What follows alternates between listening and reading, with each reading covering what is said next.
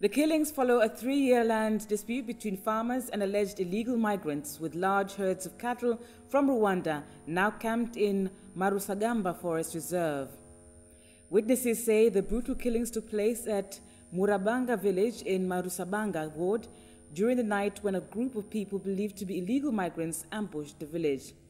Some farmers blamed the government for embracing illegal migrants with settlements in the forest reserve owning land illegally and causing disputes between them and farmers, resulting in 16 people being killed in the past three years.